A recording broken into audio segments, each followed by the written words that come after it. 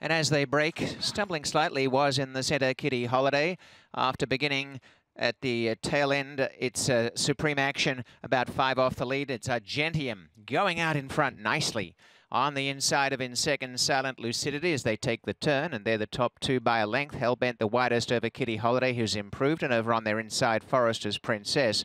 A break of two and a half to Broken Proposal and Supreme Actions three away last.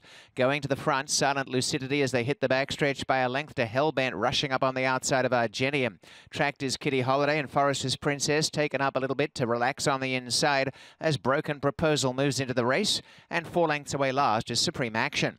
They reach the 5 eighths and showing the way. Silent Lucidity by a length up in second placing. Going forward now over on the inside of Hellbent is Argentium to almost push this leader again to go clear by a length. Silent Lucidity quickens. Kitty Holidays between runners, broken proposal three deep up the inside. Forester's Princess coming back on nicely. And three to Supreme Action will come from the back. They race off into the far turn with the leader still Silent Lucidity from Argentium. Hellbent in third. Forester's Princess the inside in fourth from Kitty Holiday. Broken Proposal trying to keep up with him at the moment. And although last, Supreme Action catching the pack.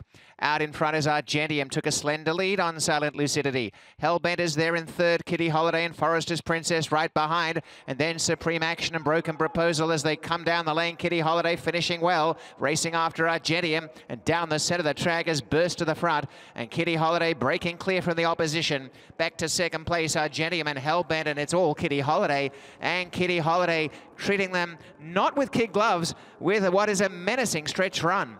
Wins hands down, head on the chest by five lengths to Hellbent, then Forester's Princess, uh, Argentium, and the time is 145.26.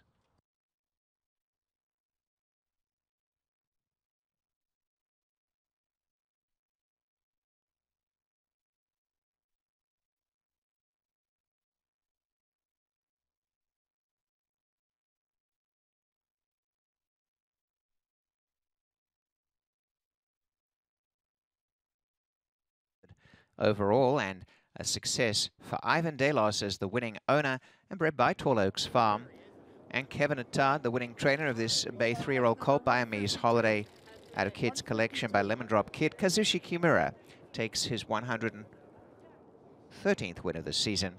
A champion rider of 2022. Even the return for the winner number six, Kitty Holiday. The exact 12 even. The try 52.45 and the super.